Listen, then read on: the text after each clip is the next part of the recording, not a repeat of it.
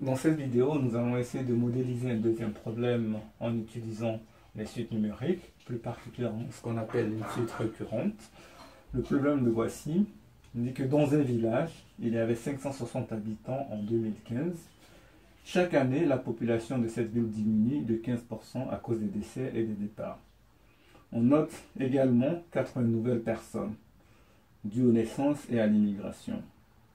On désigne par UN la suite donnant la population du village en 2000 à l'année 2015 plus N.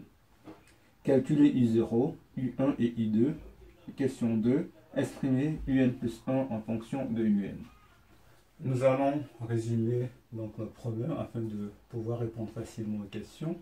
Donc les données du problème, la population initiale en 2015 était de 560. Le taux de baisse de la population, de diminution de la population, 15% les arrivées de 80 habitants par an. Et la suite UN désigne le nombre d'habitants à l'année 2015 plus N. La première question, c'était de calculer U0. Donc, U0 va désigner le nombre d'habitants en 2015 plus 0, c'est-à-dire nombre d'habitants en 2015. Donc, U0, c'est égal au nombre d'habitants en 2015.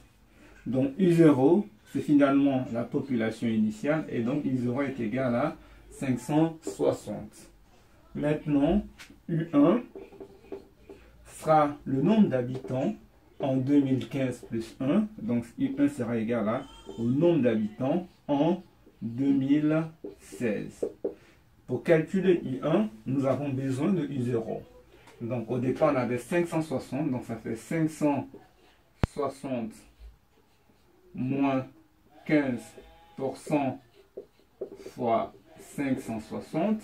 Donc ça, c'est la diminution, plus les arrivées, 80.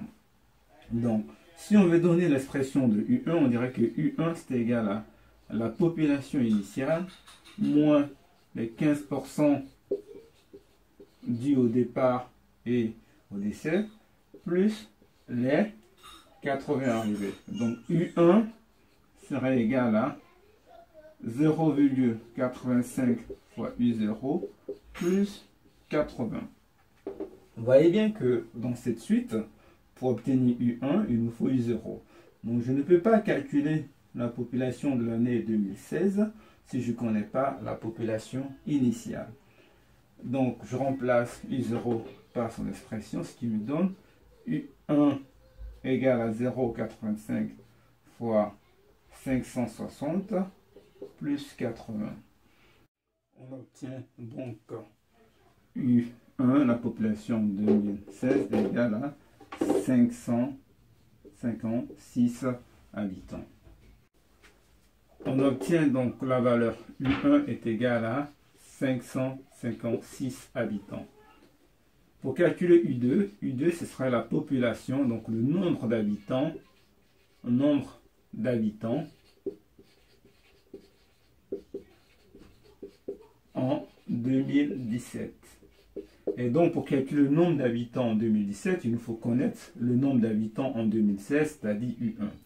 Donc l'expression de U2, ça va être donc nombre d'habitants en 2017, c'est égal au nombre d'habitants en 2016, qui est U1, moins les 15% de départ de U1 plus les 80 arrivés.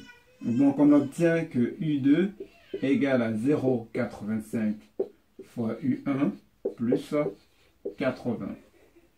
Pour obtenir U2, je vais remplacer U1 par sa valeur, donc c'est 0,85 fois 556 plus 80, ce qui me donne environ 500 53 habitants. 553 habitants. Donc voilà la valeur de U2. On rappelle les expressions que nous avons utilisées pour calculer U1 et U2.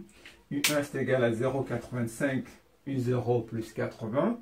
On a trouvé 556. U2 c'était 0,85 fois U1 plus 80. On a trouvé environ 553.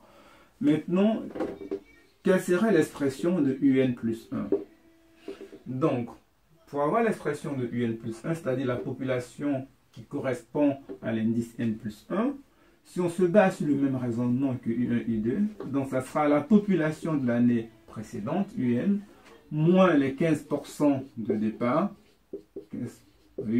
plus les 80 arrivés. Donc on trouve une expression similaire à UN et UD, donc on obtient UN plus 1 égale à 0,85 UN plus 80.